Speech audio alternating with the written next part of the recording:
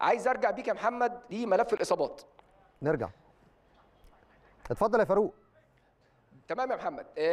آه الدكتور أحمد أبو أبو عبلة وإحنا بنتكلم على اللاعبين وبرضه بطمنك. أنا بقى من خلالك ومن خلال قناة النادي الأهلي بنعلن جاهزية محمد هاني إن شاء الله لمباراة المريخ السوداني وهو في أرض الملعب وجاهز وبيأدي التدريب الأساسي مع لاعبي النادي الأهلي.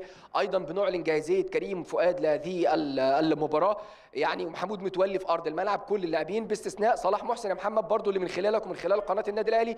بالأخبار السارة الجماهير النادي الأهلي صلاح محسن هيكون في التدريبات الجماعية إن شاء الله عقب مباراة الهلال السوداني.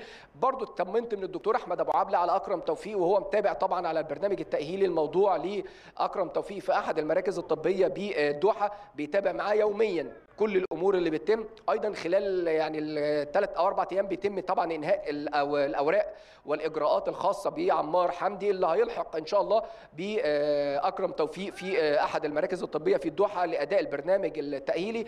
آه، كل الكلام اللي بيصار يا محمد عن الإصابات أنا بقول لك إحنا في أرض الواقع إحنا موجودين دلوقتي في التدريب. تمام. أنا في خلف محمد اللعيبة بتأدي التدريب. خلفي بيرسي تاو موجود في أرض الملعب محمد هاني في أرض الملعب أيضا كريم فؤاد. أنا موجود معاك يا محمد لو في أي استفسار أو أي تساؤل.